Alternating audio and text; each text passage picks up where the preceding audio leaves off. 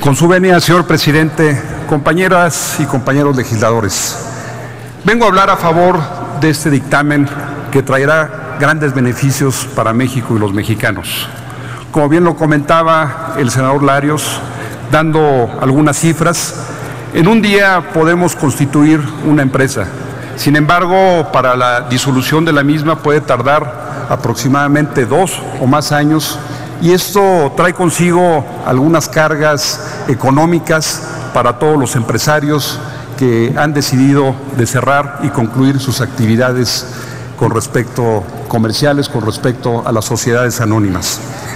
Esto también podría traer un costo mayor a 40 mil pesos en la actualidad y este dictamen esta, traerá consigo que cueste cero pesos la disolución una empresa. Es de ahí la relevancia de esta gran reforma que busca simplificar trámites administrativos para disolver y liquidar sociedades mercantiles, facilitando su cierre, liquidación y disolución. Existe un número importante que no tuvieron éxito en cuatro años y por mencionar eh, algunos números al respecto, en cuatro años se crearon más de 324.320 empresas y eh, 3.413 han solicitado la disolución, es decir, el 1%. Sin embargo, quiero comentarles que el 40% de ellas no han tenido éxito y no los han podido diluir en base a que es un trámite que aparte de ser costoso lleva muchos trámites eh, que no tendrían que ser así.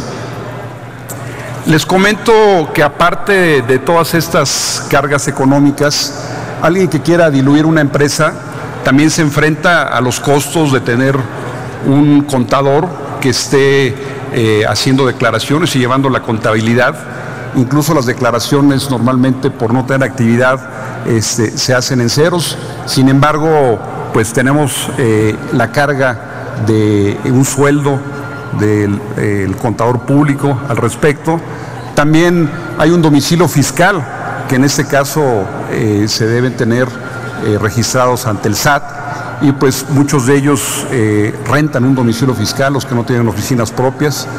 es importante también mencionar que la Secretaría de Hacienda tiene una carga en cuanto a empleados que estén revisando estas empresas que no tienen movimientos y que durante estos dos años pues eh, implican una cantidad de gastos para todos los que quieran estar inmersos en estos procesos.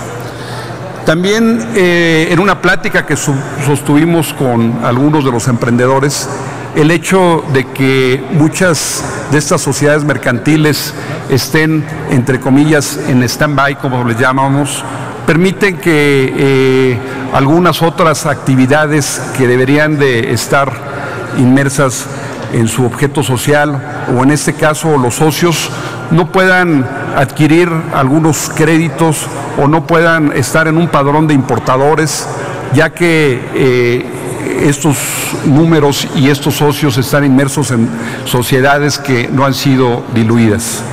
Por eso quiero preponderar la gran importancia de este dictamen, de todos los beneficios que va a traer al sector empresarial mexicano y que será un paso que daremos hacia adelante todos los que estamos inmersos en una actividad comercial.